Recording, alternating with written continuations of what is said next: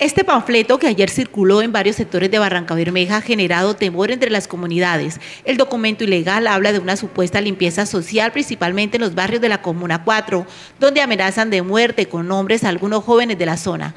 Dentro de este mismo aseguran que no tendrán compasión con nadie y no responderán, ya que su objetivo es acabar con las personas consumidoras de drogas y aquellas que han venido cometiendo algunos delitos.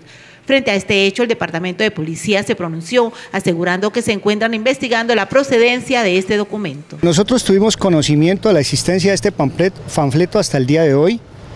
Eh, en este momento se está desplegando nuestra inteligencia y estamos realizando algunas actividades de policía judicial para, para verificar pues, la veracidad del panfleto.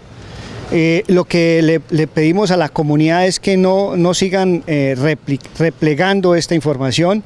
Obviamente esto puede generar temor en la ciudadanía. Nosotros como Policía Nacional y el, resto de las autoridades de nuestro Ejército Nacional que también eh, está en este municipio, pues estamos garantizando nuestra presencia en todo, en todo el casco urbano y rural de, de aquí del municipio de Barranca Bermeja. La gráfica de este panfleto, aunque no se menciona qué grupo o personas pudieron haberlo realizado, sí son explícitas, lo que tiene con temor a las comunidades.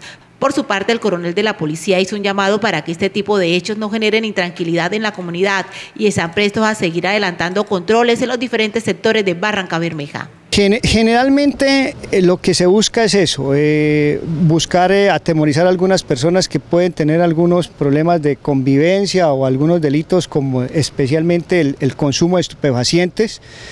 Pero pues obviamente nosotros estamos investigando, estamos investigando para dar con el paradero de, las, de los responsables y poder darle un parte de tranquilidad a la comunidad.